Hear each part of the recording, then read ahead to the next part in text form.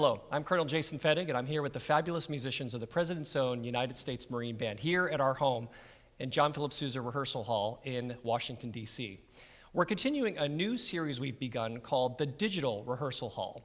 Many of you know what the Marine Band sounds like in performance or in broadcast, but we wanted to show you a little bit of what we do to prepare for those performances.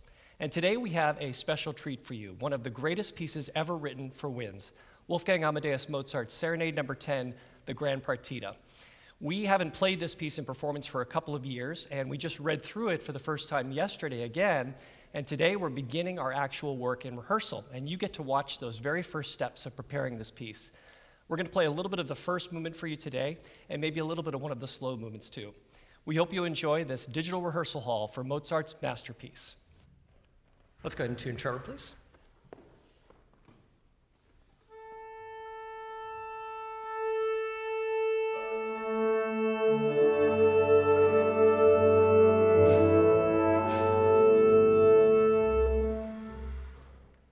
First movement, please.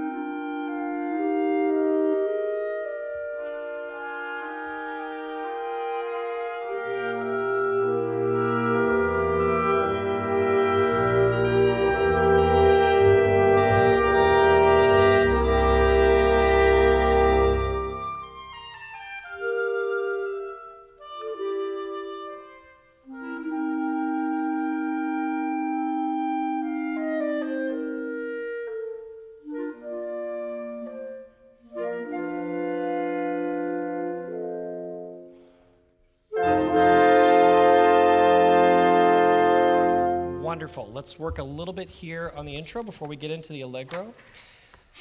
Thank you so much, everybody. So the beginning uh, three bars of this in the largo, if we could create maybe just a tad more drama in the dotted eighth sixteenth, beep, ah, bum, bum. So yes, a true sixteenth, but maybe a bit more articulation on the uh, sixteenth. And then, Patrick, you can do this differently every time. This is clearly an opera overture. So if you want to play around with this, I'll wait for you uh, and everybody else to get those, those three declarations. Once we get to the, the little tiptoe section, Andrew and Trevor, in here, you could probably put just a bit more articulation behind these spiked, these, uh, these eighth notes, and then the opposite kind of feeling for you. So you're having this kind of dialogue and can't quite tell who's going to take charge of the style through there. And then a lot of drama again through the, any kind of dotted figure we have, uh, 16ths through uh, that measure uh, 11 into 12. Da da da. We can build uh, a lot of tension through there into these releases into the piano. One more time at the top, please, for me. For Anne.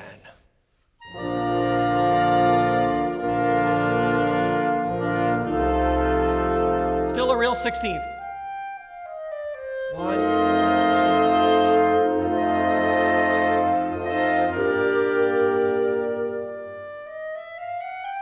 That's it. Good. That's it. Wonderful. And then the releases on beat three. Let's hold all the way through with the forte, and then a really definitive release on uh, on the end of that quarter note, leaving the space for the clarinet, which you're soft, so you kind of emerge from the texture as you know. One more time, and we'll keep going.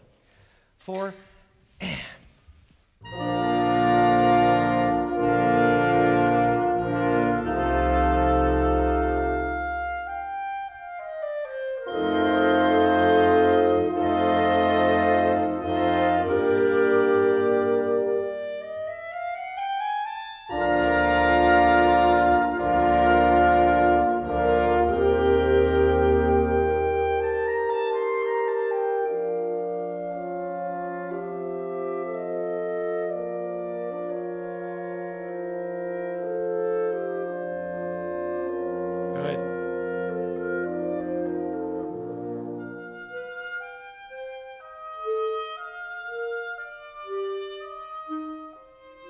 That's great.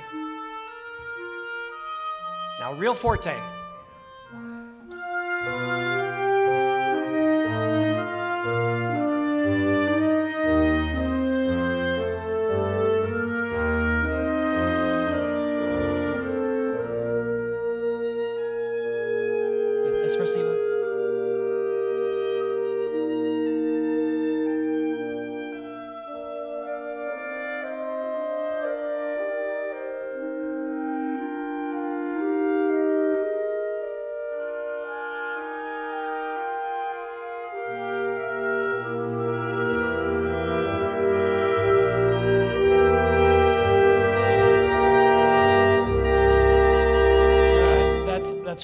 Everybody. Thank you so much. And I think what we did there of letting the tempo move a little bit is right. I don't think we should be too stuck into this subdivided four. So that's a moment where clearly, if we want to push just a bit, I really like what you did, so I will follow along.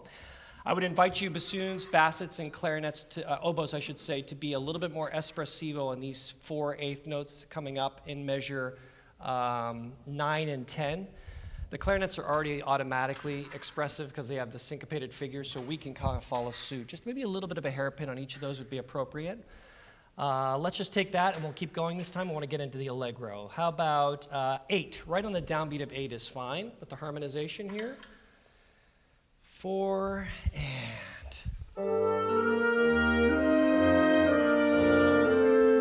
Is good.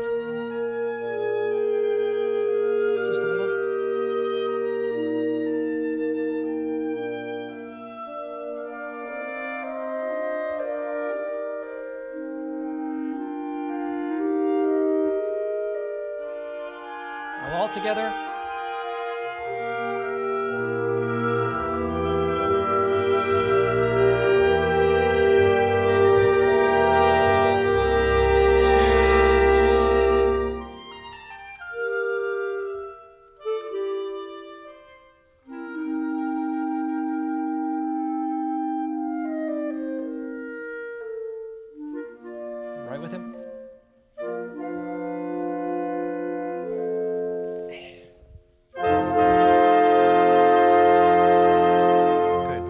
On, just let me talk to our audience here for just a minute.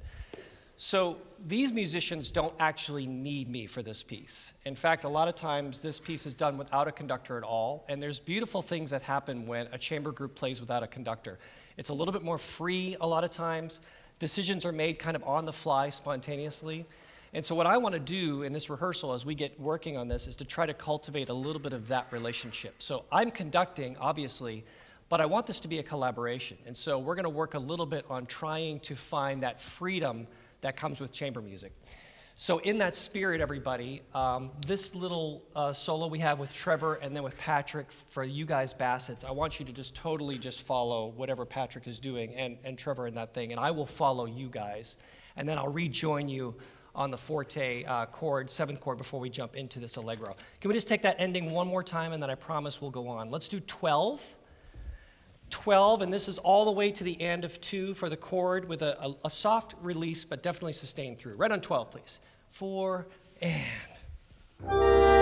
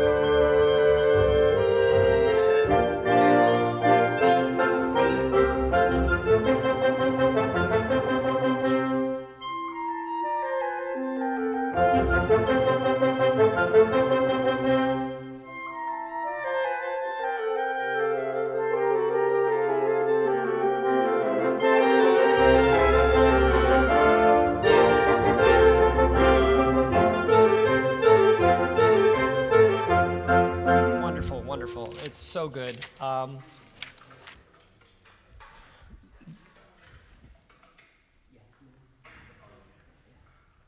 Mozart was trying to impress, we think, uh, the prince with this piece. So, this piece is, as you, as you know, but for the benefit of our audience as well, is a combination of a light serenade, you know, which would have been, of course, outdoor music, uh, music that would have been entertaining, music of the people, which is what bands are all about, and then also a serious symphonic piece, you know, something that was designed to be uh, played in a concert and something that was designed to also impress the audience with Mozart's composing skill. So I think I tell you this in this rehearsal because I think it's something that we should endeavor to try to have a lot of fun with the moments that are supposed to be a little bit more rambunctious and a little bit more playful. Right out of the gate in the Allegro, for me personally, I think that fifth bar and all the tutti here should have a real kind of rustic, shampoo, people, people. There's no timpani, so you guys have a timpani. But if you can imagine that we've got timpani in here, and it really has the, the, the buoyancy of the eighth notes is what drives this. And then for all of you in the woodwinds, upper woodwinds, don't be afraid to put a little bit of accents on these syncopations, just to have it really have this uplifting, light, joyous approach. Same thing when we go into the minor.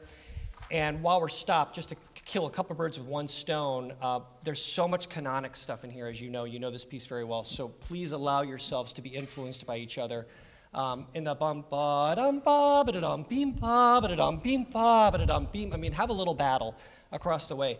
Balance wise, I think oboes, you probably need to come out just a bit in that section 30, 31, 32. Horns, uh, maybe back off just a hair here so we can hear what's going on. 29, 30, that, all of that stuff that you've got with all four of you playing. When we get to the second part with the bassets, the second statement of the theme, uh, measure 40 and through that, I think you guys can save a little bit of your kind of sun coming out through the clouds until we get to that eighth note run at 47, 48. So I would be a little bit more sotto voce, um, real buoyant articulation for the bassoons, and then that can be the extension where you kind of let your arms open up a little bit and then back down into the piano for the oboes. Is that enough? I think that's enough. One more time. Let's do the second time through the allegro. We'll keep going. Molto allegro second time. One and two. A little softer if we could. Really maximize the pianos. Surprise!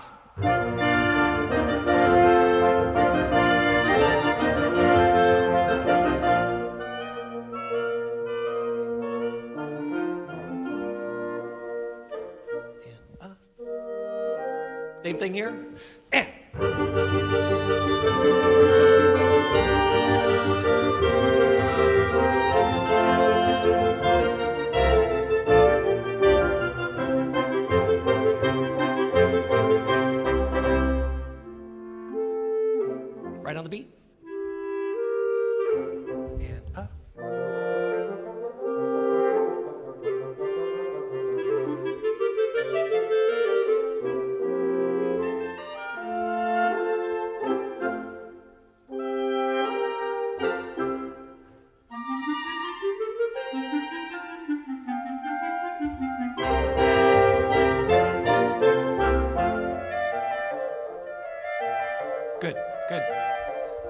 Apologies for stopping here, but can we make a little bit more of the fortes in those forte pianos?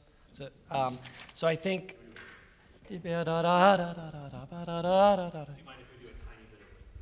That would be fine. Is uh, one of the things I'm going to harp on is just the quality of the forte pianos. Like, how long does the forte last? In this case, I think it's going to be gesture dependent. So I think if you need to hang on for a little bit longer, that's okay. Later on in white notes, I'll probably ask you guys to be a little get to the piano a little sooner than we otherwise have been. But I don't think we should shy away from the fortes. I think what makes this Mozart is these moments of just kind of uh, sparkle that come through those dynamic dynamic changes. Uh, while we're stopped, cadence points. There's so many five bar phrases in this piece. Like he has an extension, which is so clever for Mozart, where like there's an extra bar. and I think we should charge through to those cadence points. So in forte cadences that feel like they've got an extra bar, shum bum bum bum bum bum bum bum bum bum bum bum bum bum bum bum bum bum. Let's really intentionally go to that. I think that's what makes this jump off the page. That's uh, right where we were, 35 to 39. Let's start right there, please, and get one more Basset duet, if we could, and then we'll keep going. 35, please. 35, right on. A one and two. Música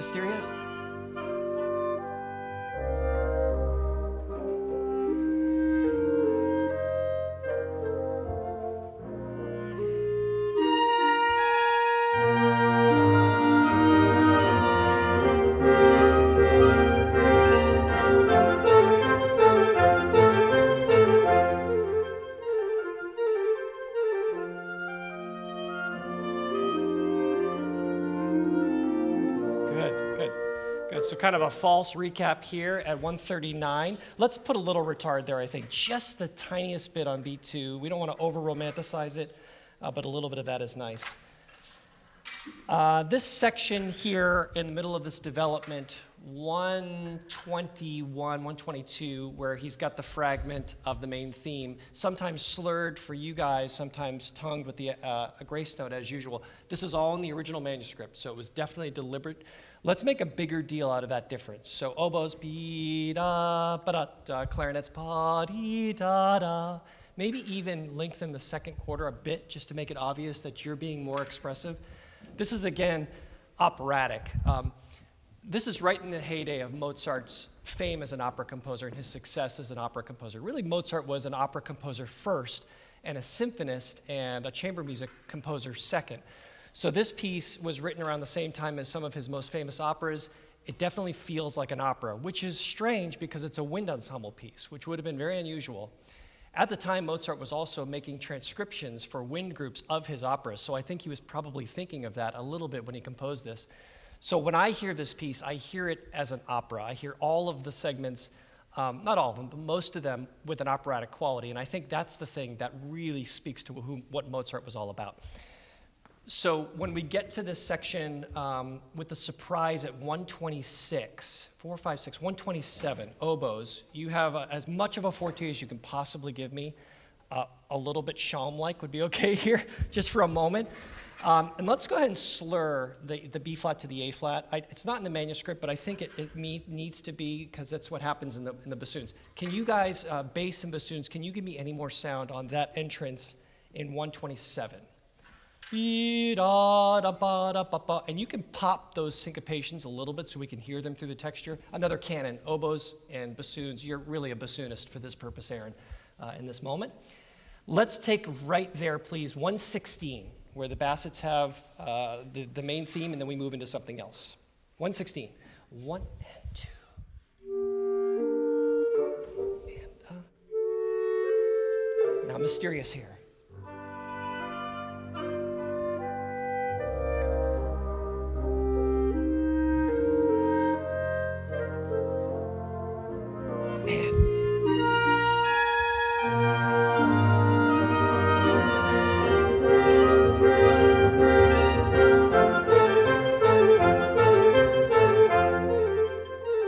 Slow.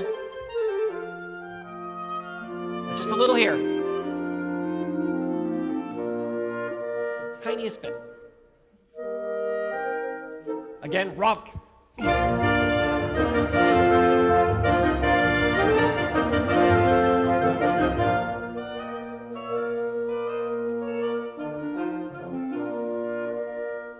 Keep the energy going.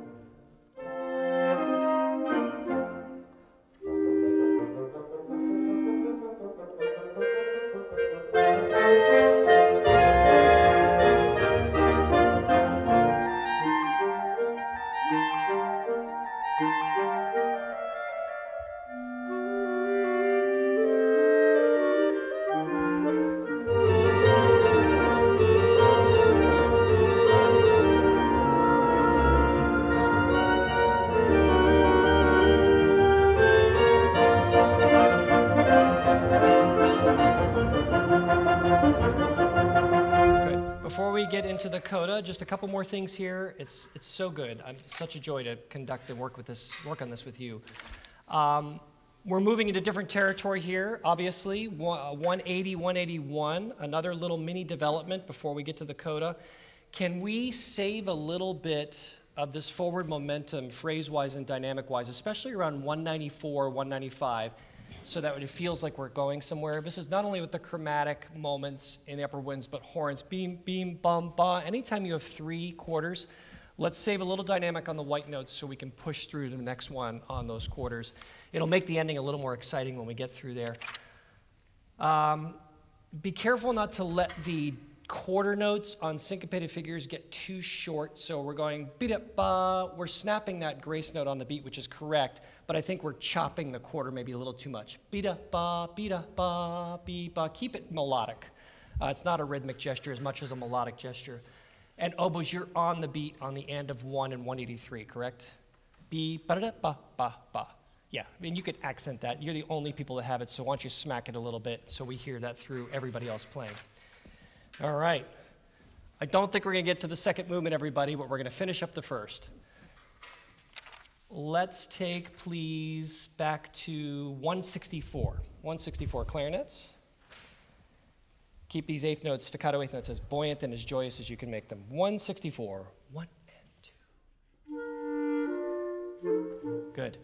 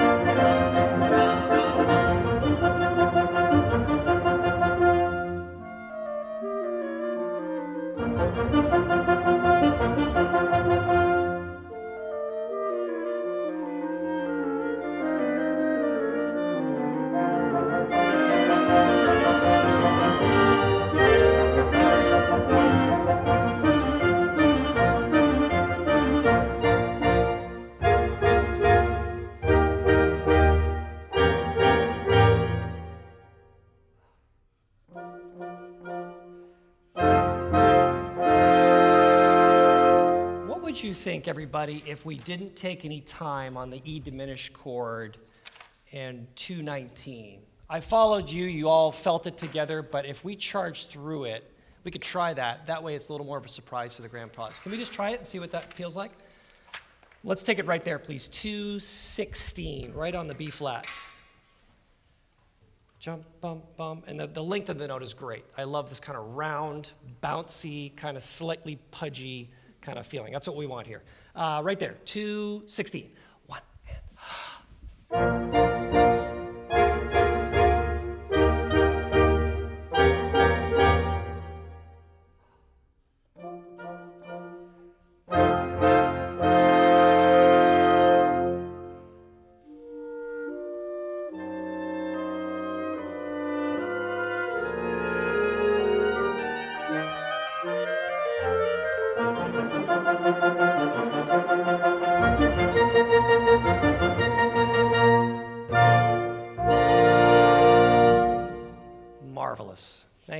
Much. Thank you. And thank you for watching. I hope you enjoyed this episode of our digital rehearsal hall, a little bit of seeing behind the scenes of how we work on this wonderful masterpiece.